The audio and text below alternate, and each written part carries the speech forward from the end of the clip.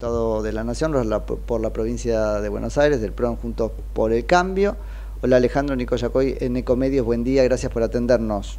Hola Nico, muy buen día, ¿cómo te va? ¿Cómo andan ustedes? Bien, muy bien, muy bien. Acá mirando un poquito de la, del hecho del momento, que es que empezó la transición. Ponele. Bueno, a ver, te lo digo por experiencia propia. Total. Empezar la transición no es sacarse una foto en Olivo. Eso mismo. Sí. Este, y no lo digo por el presidente electo, lo digo por el presidente saliente. En este caso, mira. Cuyas mañas eh, conocemos, ¿no es cierto? Entonces yo estoy como muy prevenido de eso, que esto quede en la foto y nada más. En Argentina yo no recuerdo...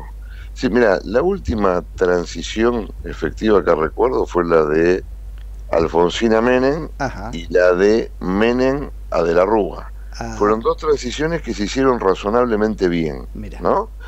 Este, después, bueno, empezó el kirchnerismo, qué sé yo. Eh, cuando nosotros asumimos en el 2015 no hubo transición. De hecho, Cristina no entregó los atributos del mando. ¿Qué, es transición, Alejandro, este, para vos? Porque yo intuyo que lo más importante es que le den la información que les permita cerrar su diagnóstico para calibrar las herramientas que van a aplicar.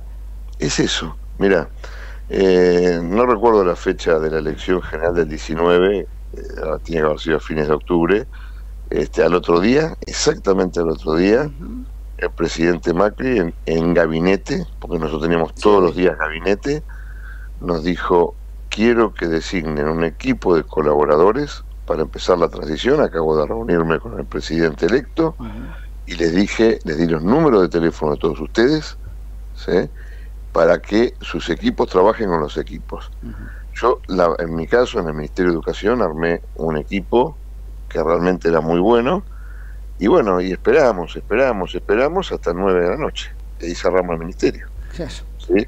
Porque, ¿qué, ¿qué, es lo que le íbamos a decir? Mira, tenemos estos programas, estamos ejecutando estas políticas públicas, este, cuestan tanto, queda tanto dinero en caja, quedan tanto para transferencias.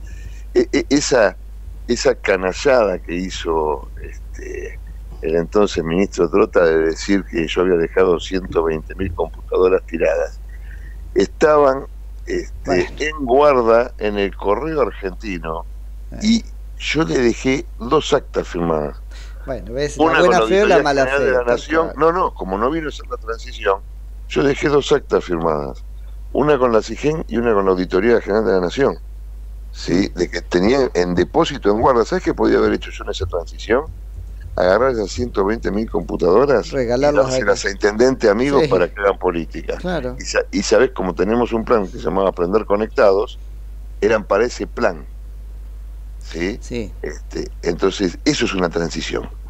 Efectivamente. Bueno, vamos a ver qué es lo que este, trasciende que pasó, pero como indicador que haya durado tan poquito, no sé si es una, una buena señal.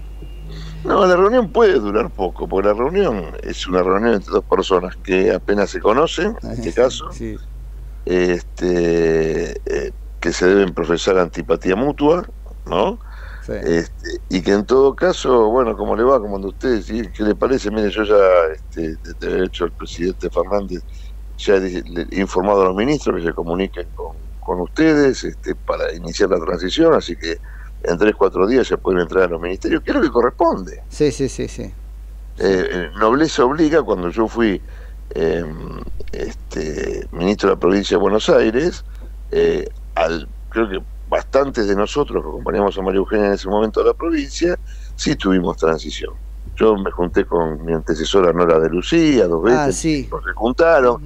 Digo, no te diría que fue la mejor, pero hubo transición. Hubo transición, ¿no? Bien. Este, y eso es lo que debería pasar en cualquier país ordenado. y el presidente entregar el mando como corresponde. que está bueno que desde la sociedad lo este, veamos un poco para que para generar ahí una, una vara y medir los comportamientos, porque después se llenan la boca son la democracia. Esto es una parte fundamental de la democracia. Mira, porque además hay otra cosa, Alejandro, y ahora te dejo cerrar, si el, el presidente que entra no tiene la información eh, real, sobre lo que recibe, tampoco va a poder ser clarísimo con nosotros el 10 de diciembre sobre lo que encuentra. Y eso es muy importante. Dos cosas. En primer lugar, en estos 20 años, si algo no ha representado el kirchnerismo es a la democracia. Uno. Dos. El 10 de diciembre es muy difícil que ningún presidente entrante pueda tener la claridad de todos los números de la administración, como para darte un diagnóstico certero. Posiblemente sí el primero de marzo, cuando inaugure el año parlamentario. Eso lo ves más razonable. Está bueno para calibrar expectativas. Esperémoslo ahí. Justamente con esta gente que hmm. toda su vida ha sido escondedora, este, eh, truanes, eh, no, no, no, no se puede, digamos. Yo sé que no la va a tener, pero no la va a tener pues se la van a esconder. Sí, sí, está claro. este, todos los cheques sin fondo que tiró Massa en su candidatura. ¿no? ¿Y eso dónde están? Sí, sí, totalmente. Este, yo creo que sí, siendo realistas, para, digo, para, para que la gente comience, que el 10, el 10 de diciembre posiblemente el presidente goce bien, que son las cosas que tiene que hacer, y hay que tenerle comprensión en el sentido de si este, algunas de esas cosas no pueden ser inmediatas, porque no tienen información, no la va a tener. ¿No? No nos olvidemos que ellos son el kirchnerismo. Y ahora sí, el primero de, marzo. Primero de marzo yo creo que el presidente tiene idea de hacer una auditoría muy fuerte en cada lado. Sí, sí, sí, eso, eso, así que ahí vamos a pasar un verano de mucho trabajo. Sí, vamos a pasar porque vas a estar trabajando en algo de eso. Y yo soy diputado, sí, ah.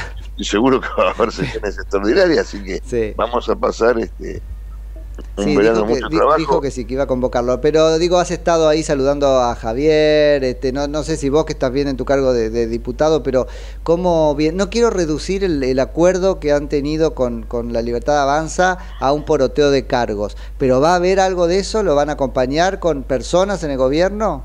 Mira, Nico, es que justamente eh, hace bien porque es lo que no hay que hacer. Nosotros acompañamos a la Libertad Avanza porque claramente entre el cambio que proponíamos nosotros y que proponía Javier Milei, la gente eligió el de Javier Milei. Y lo hicimos sin condicionamientos. ¿sí? Si después el presidente, que es quien arma el gobierno, porque este es un sistema presidencialista, ¿no? Este, define que hay algunos hombres, algunas mujeres del PRO que puedan acompañarlo, esa es una cuestión del presidente nación. Nosotros lo vamos a acompañar desde el llano, desde la Cámara de Diputados, desde la Cámara de Senadores, desde donde sea necesario, porque hace 20 años que luchamos por un cambio. Lo van a acompañar. Con Mauricio lo empezamos. Seguro.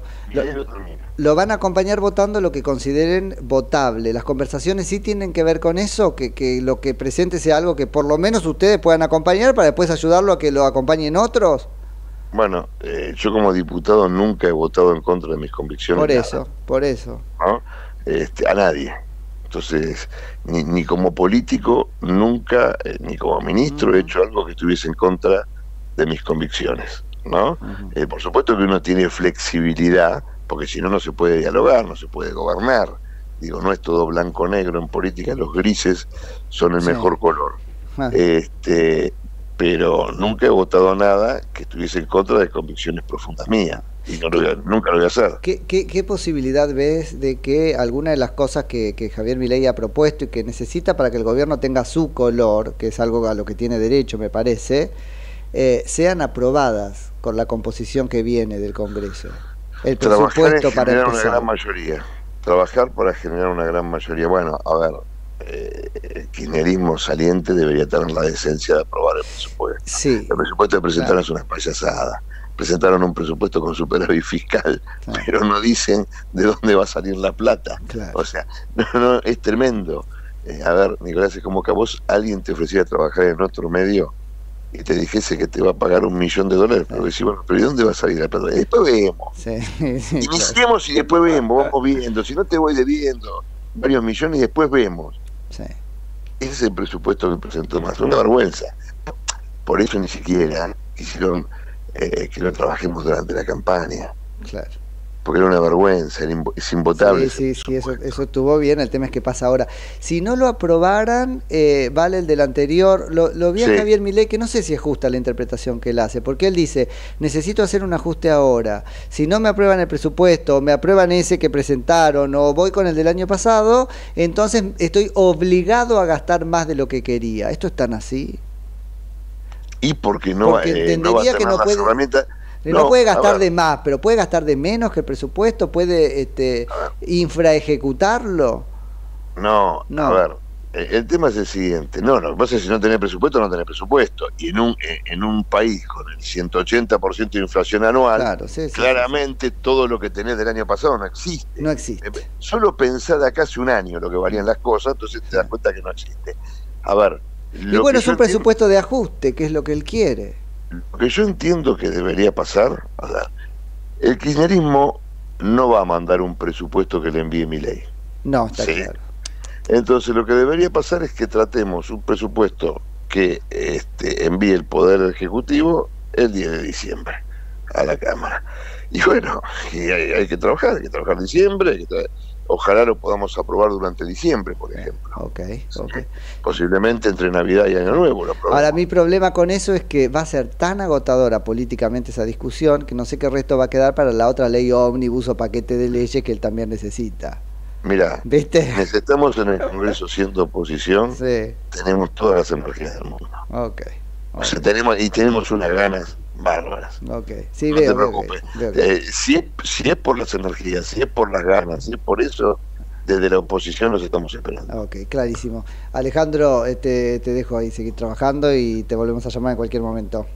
Muchas gracias, Nico. Que tengan un muy buen día. Lo mismo vos, es Alejandro Finocchiaro, que es actualmente diputado nacional, decíamos por provincia de Buenos Aires, pero en todavía Juntos por el Cambio, exministro de Educación de la Nación y de la provincia de, de Buenos Aires.